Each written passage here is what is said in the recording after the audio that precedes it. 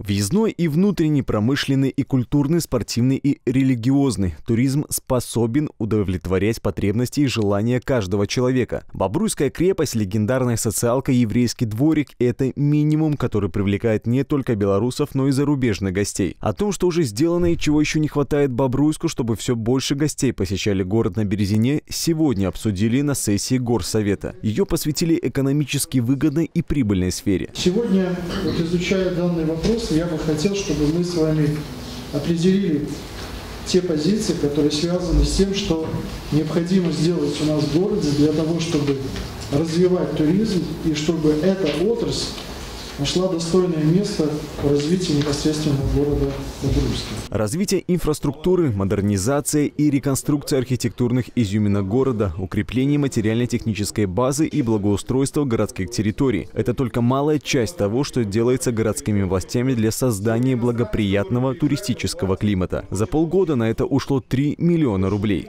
Чаще всего город посещают туристы из Российской Федерации, стран Прибалтики, Израиля, Германии – Наибольшим спросом среди иностранных туристов, прежде всего россиян, пользуются санатории города, которые привлекают оптимальным соотношением цены и качества оказанных услуг. За первое полугодие 19-го услугами бобруйских здравниц воспользовалось без малого две с половиной тысячи туристов. Санатории города уже превзошли свои прошлогодние показатели. Причины успеха просты. Обновляется жилой фонд, медицинские кабинеты и, главное, повышается уровень обслуживания. За 6 месяцев наш уголок посетило около 10 тысяч гостей. В бюджет поступило более 2000 долларов туристических инвестиций. Однако, по словам градоначальника Александра Студнева, нам все же есть к чему стремиться, чтобы Бобруйск точно стал новой мекой на карте Беларуси. Максим Кембель, Андрей Богдан, Бобруйск 360.